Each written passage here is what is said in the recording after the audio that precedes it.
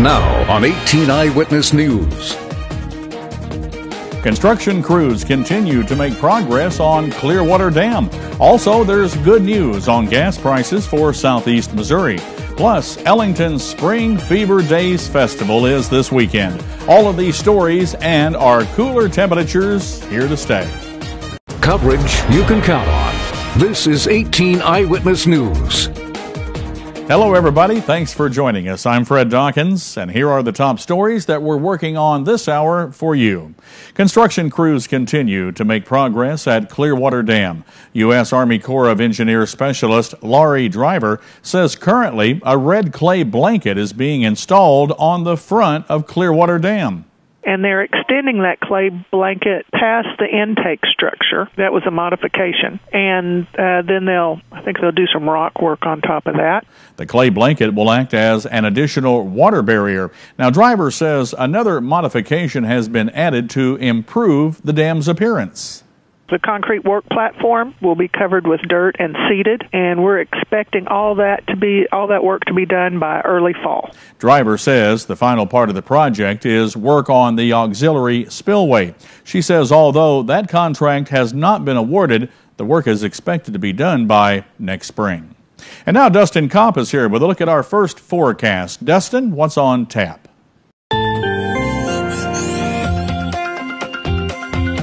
Good evening, Fred. Good evening, everybody. Temperatures are on the mild side right now. 71 in Festus and Potosi, as well as in St. Genevieve. A little warmer in Fredericktown at 73, 74 in Piedmont and St. or excuse me, Cape Girardeau, and 76 right now in Poplar Bluff. Temperatures are going to continue to be on the mild side this evening. Partly sunny skies at 7 p.m. 70 degrees. Uh, 9 p.m. partly cloudy with 63 degrees and 57 by midnight, and partly cloudy skies continue. Tomorrow at the bus stop, Plenty of sunshine, temperature around 50 degrees, northwest wind about 5 miles per hour. I'll give you more details on your sunshiny forecast coming up later in weather.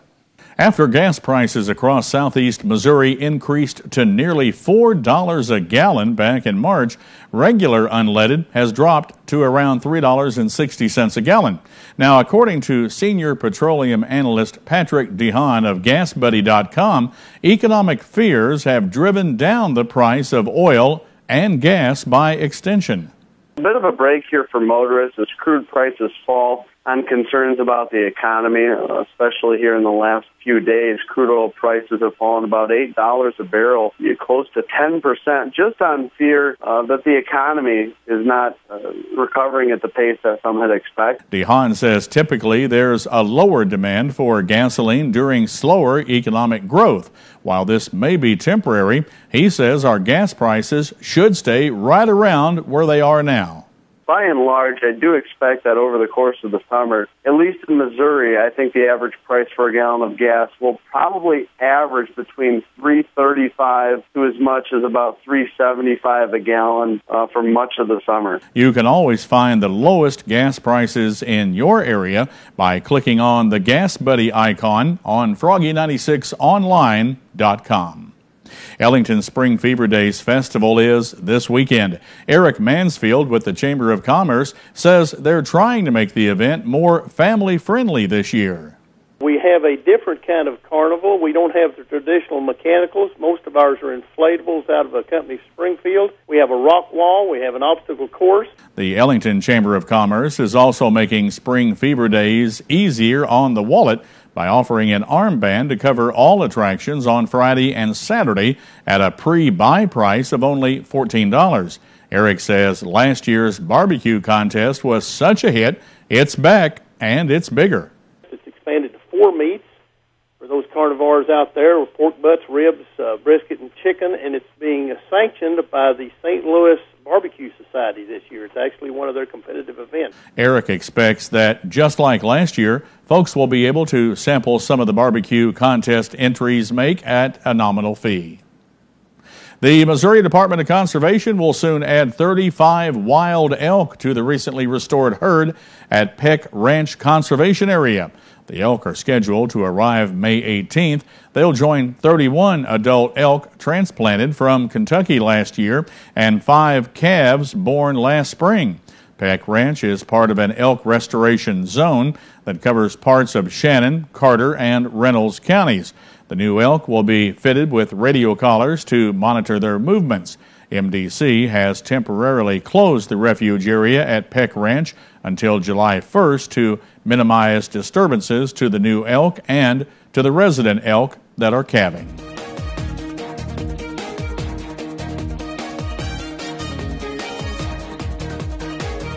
And when we come back, we'll take a look at the street improvements going on around Farmington. That story is coming up only on 18 Eyewitness News.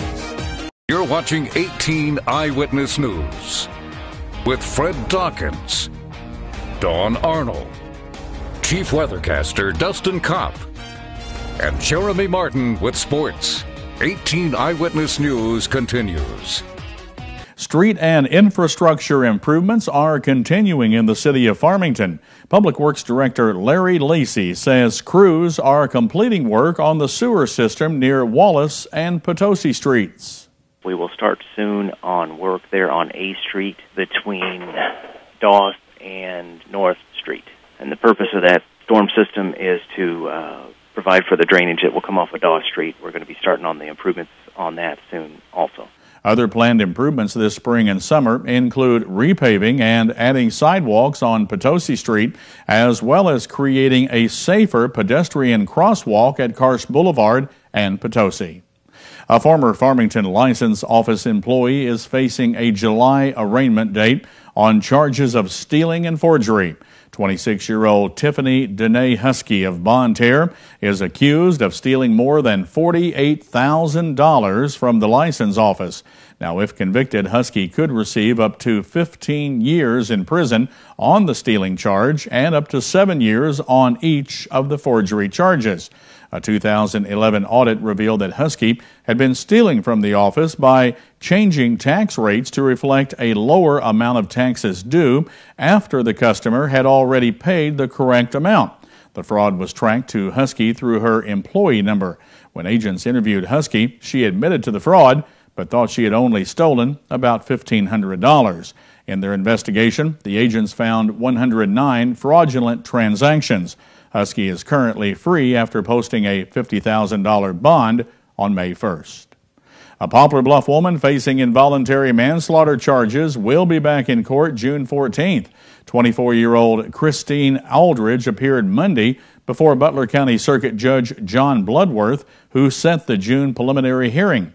Aldridge is accused of being legally drunk when she went through a stop sign, slid through an intersection, and drove her car into the Black River back in April. While she was rescued by two bystanders, her passengers, 25 year old John Phelps of Poplar Bluff and 29 year old Jason Carrington of Malden, drowned inside the car. She's charged with involuntary manslaughter and driving while intoxicated.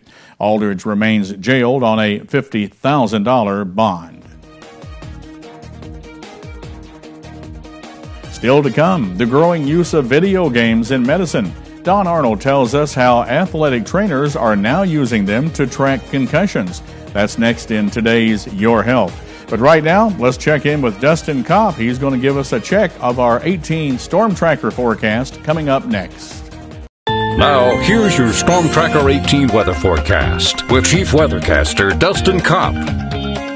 And welcome back. Plenty of sunshine for the next several days and temperatures around the area are going to continue to be average for this time of year, and a chance of showers and thunderstorms is still in the forecast for Mother's Day. I'm sorry, mothers out there. Here in southeast Missouri, temperatures are in the 70s, 74 in Cape Girardeau, 76 down in Poplar Bluff, 73 right now in Ironton and Fredericktown, 71 in Festus and St. Genevieve. Here at the station, we have a current temperature of 72 degrees under a partly sunny sky. 72 is what it feels like out there. Current dew point 44 with 35% humidity and a northwest wind about 7 miles per hour. Wednesday is going to look nice. Plenty of sunshine. Really can't complain through southeast Missouri, pretty much the Midwest. It's going to be a nice day here in southeast Missouri. Really, nothing too much to complain about. Clear skies tonight, low around 50 here in Farmington, 49 in Fredericktown and St. Genevieve, as well as in Ironton, Potosi, and Fredericktown, a little cooler at 48, as well as in Van Buren, warmer down to our south in Piedmont at 51 and Poplar Bluff at 54 degrees. Tomorrow, 71 for your high, partly to mostly sunny skies. Northwest wind 5 to 10, continuing to warm up down to our south and 76 degrees around Poplar Bluff. 74 in Piedmont and Cape Girardeau. A little cooler out to our north, around 70 degrees, 71, 72 in Festus. So for your next several days here in southeast Missouri, we're going to continue to see plenty of sunshine for the next several days, Thursday, Friday. 70 degrees for Thursday, 72 on Friday. Saturday looks partly sunny, high of 76. Cooler on Sunday. Sorry, mothers out there. We're going to see that chance of a shower or a thunderstorm. High of 72 once again on Monday with partly sunny skies and another chance of showers moving in the forecast on Tuesday with a high of 76. Another look at our weekend forecast here in southeast Missouri. 76 on Saturday, partly sunny skies. On Sunday, once again, another chance of showers and thunderstorms. High of 72. That's checking your storm tracker weather forecast. More details are located at froggy96online.com. Just click on the weather tab. Fred, back to you. This is Sports Zone, only on 18 Eyewitness News with Jeremy Martin. Lance Lynn was not at his best Monday night, just good enough for five scoreless innings and another victory. The young St. Louis right-hander, who only became a starter when Chris Carpenter went down, gave up three hits to become the Major's first six-game winner, and the Cardinals held on for a 9-6 victory over the Arizona Diamondbacks. Rafael Furcal hit the 30th leadoff home run of his career for St. Louis, the first of five home runs for the Cardinals on the night. Carlos Beltran and Matt Holliday hit consecutive home runs to open the third inning. Then Allen Craig and David Freese homered to start the seventh after Arizona had scored six times in the sixth to cut the lead to 7 to 6. Lynn is the first St. Louis pitcher to start the season with six wins since Bob Tewksbury in 1994. Jason Motte gave up a pair of singles in the ninth, but no runs for his fifth save in six tries. The Missouri Attorney General's office has warned the St. Louis Rams and the St. Louis Convention and Visitors Commission that the state plans to make public documents related to the proposed renovation of the Edward Jones Dome, including the May 1st plan from the Rams that has so far been kept secret. Attorney General Chris Koster sent a letter to St. Louis Circuit Judge Brian Hettenbach saying the state will release the documents by the close of business on Monday, May 14th.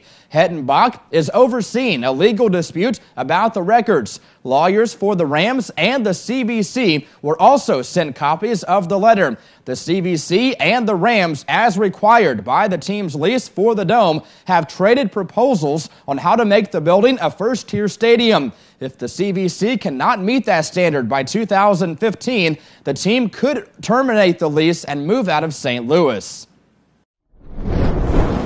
The long wait for the sale of the St. Louis Blues is finally coming to an end. A group led by Blues minority owner Tom Stillman is expected to close its purchase of the club on Wednesday. Hall of Famer and former Blues captain Brett Hull is expected to be named to a management position under the new ownership. No other changes within the management staff are known at this time. Stillman, who is CEO of Summit Distributing in St. Louis, heads a group of local investors who are believed to be paying $130 million for a package that includes the Blues, the Peoria Rivermen of the American Hockey League, and significant interest in the Peabody Opera House. And Mizzou basketball coach Frank Haith has added another transfer to bolster his team. Highly touted Jordan Clarkson of Tulsa accepted a scholarship offer from Missouri after visiting there this weekend. Clarkson connected immediately with Mizzou's coaches and players and likes Haith's up-tempo system. It also helped that Tiger guard Phil Pressey is a longtime friend of Clarkson's who raved about his experience of playing under Haith. Clarkson is the fifth transfer from a major program that Haith has recruited to Mizzou for the upcoming basketball season. And that's a look at sports. We'll be back with today's Your Life segment right after this on 18 Eyewitness News. I'm Stacy Johnson. If you're heading off to college soon, best you start beating the bushes for some bucks. College scholarships, that's just ahead on Money Talks News. Do you see news happening in your neighborhood? Email us at news at kdkz.tv. Certainly a beautiful day across the parkland and southeast Missouri today, Dustin. You could bad. not beat the weather. We've got a big event coming up this weekend down in uh, Reynolds County. It is Spring Fever Days, and can we look ahead to see what their weather is going to be like? This weekend's actually not going to look too bad for the beginning of the weekend. We're going to see plenty of sunshine on Saturday. Sunday, however, a chance of showers and thunderstorms. And like I said yesterday, I'm still trying to get that worked out to where mothers can go out and about and not have to worry about those showers and thunderstorms. All right, be a good weekend to go to Spring Festival uh, in Ellington. Also, uh, take mom out if you get a chance Yep. and uh, treat her to something nice too. They deserve it. Dustin and I will be back at 10 o'clock tonight and again tomorrow morning at 6 a.m. Until then, have a blessed evening, everybody. God bless you. Have a good night, everybody. Newswatch is next. We'll see you tonight at 10.